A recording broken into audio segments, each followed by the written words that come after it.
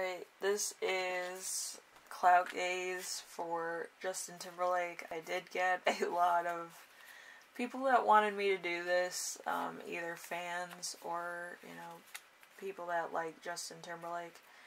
I'm also going to do one for Britney Spears next week, just for, you know, added enthusiasm. But it was requested by a viewer that I do this.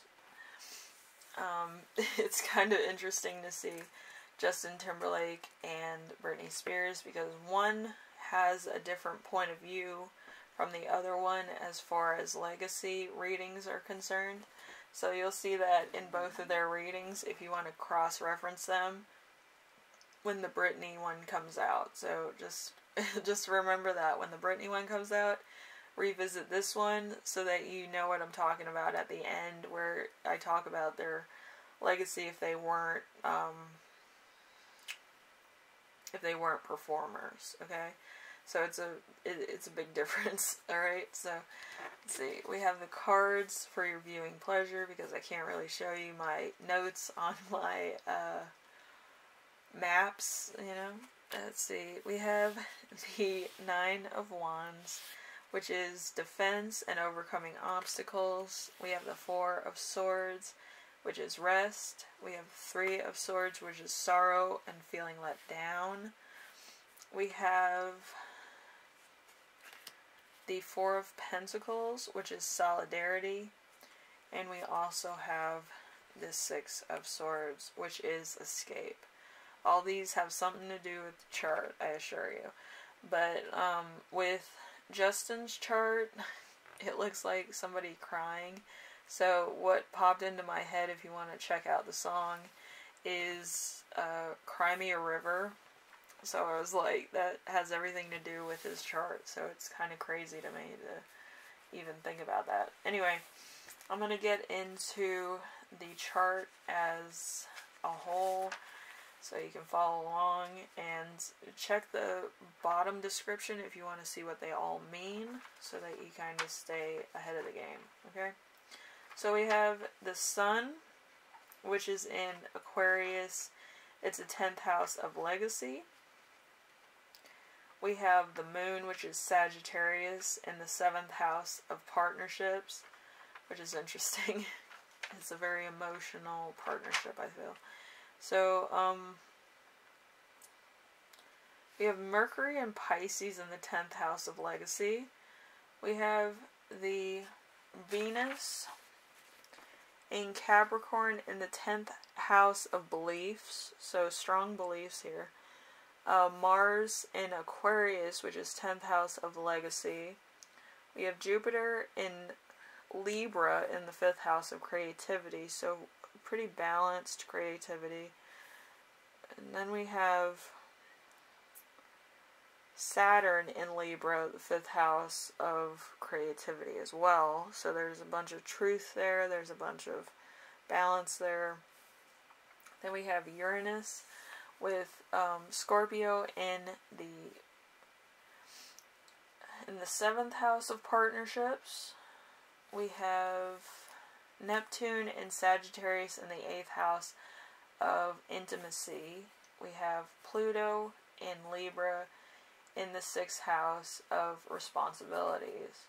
And then we have the Lilith in Scorpio, sixth house of responsibilities, the North Node, Leo, the fourth house of roots. So there's there's gonna kind of be a legacy here that also is kind of gonna be on the low end, but I feel like it's gonna be part of history, if that makes sense.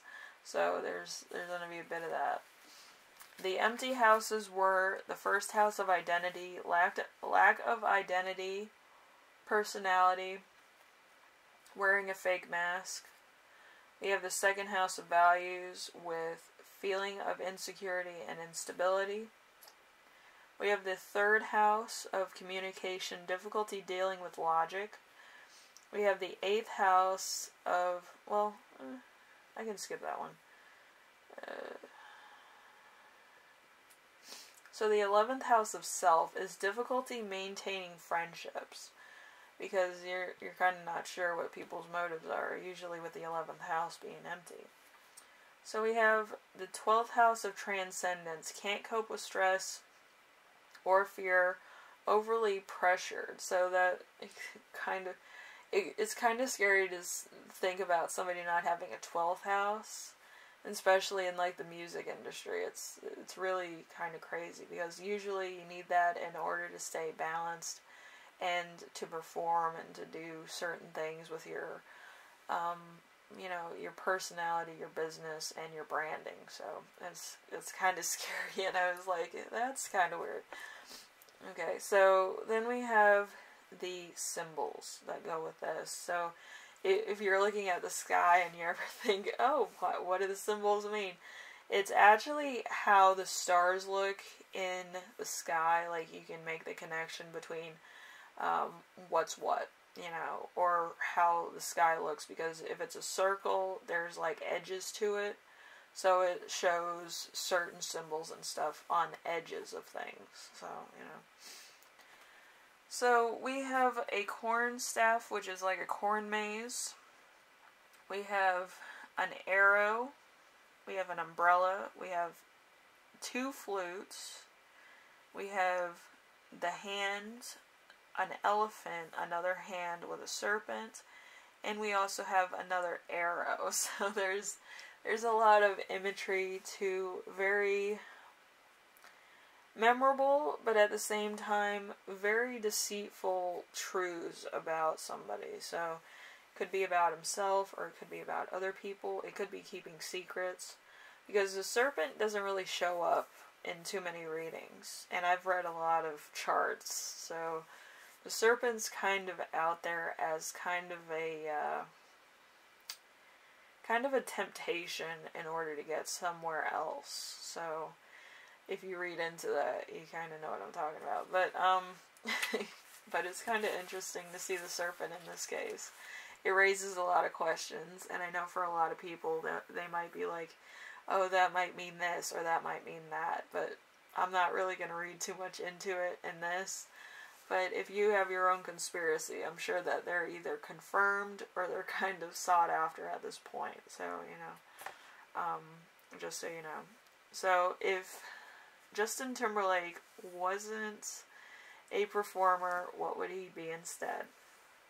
We have teacher, preacher, scholar, a student, a linguist, a translator, a novelist, a storyteller, a comedian, a magician on a small scale, um, like kids' parties, a recording artist or a DJ. We have a telephone operator, um, an agent traditionalist, which is kind of like a historian, um, gossip writers, columnists, organizers of big and small organizations, news broadcasters, psychologists, analysts, talk show hosts, radio operators. We have, uh, let's see, travel agents, healers, practitioners, uh, restaurant and hotel workers, and uh, let's see, we have, I don't even know what that means, Allopath experts. So Allopath, I, I feel is like kind of like a chiropractor, but it deals with like your electrical uh, tension in like your shoulders and stuff like acupuncture. Then we have charity workers and social workers. So it's it's kind of small scale. Um, and I, and I just know like right after this, people are going to be asking, why didn't you do the Britney Spears one? But um, with the Britney Spears one, I feel like I need a little bit more energy. Um, so you know, it's one of those things. But also with Justin Timberlake, with everything with this, um, with the careers that he could have, it also brings me back to that movie that he did. He starred in Bad Teacher with um, Cameron Diaz, and uh, Phyllis from The Office. I always forget her name, but I love her as an actress too. But um, yeah, it reminds me of that because of like the teacher student stuff and uh, what he could be as a normal person, which is kind of funny. Um, but yeah, I, I feel like it's kind of a, you know, it's a well rounded type of chart. I wouldn't say it's a bad chart, but usually it's more on like the average level. So there might be a lot of obstacles or there might be a lot of shortcomings. But I feel like if there's persistence, it could like constantly be like a rewarding thing to be a musical artist for Justin, but it's, you know, at some points, you know, it's it's kind of like it's up to timing also. There's a lot of uh, 10th houses here. So it was like kind of uncertainty with the Aquarius and the Pisces here. So it's kind of like you're stuck in the middle always, trying to be like, do I want to be a teacher or a mu musician? You know, and that could be a bit of, you know, conflict of interest also. So, you know, it depends of, like, what you're passionate about too. So, anyway, if you like this, leave a like, and if I get a million views or a million likes, I will post the full chart of Justin Timberlake. Um, you know, it's a very interesting thing to see like a full chart of like a performer, and usually I don't like doing celebrities because it kind of you know raises a lot more question about certain other celebrities that do the same thing. But I feel like you know it's it's just gonna it's gonna make you crazy. Okay, so um, I'm not gonna do too much of that, but you know it's nice. I usually just do YouTubers, so it was nice to do a celebrity. You know, fun stuff. Anyway, thank you for watching, and hopefully this helps you out in some way, shape, or form, or you know raises more questions. I feel, but it's uh it was a pretty good reading. I, I enjoyed it, so, you know, we'll see what happens. Anyway, thank you for watching, and I'll see you in the next one, alright?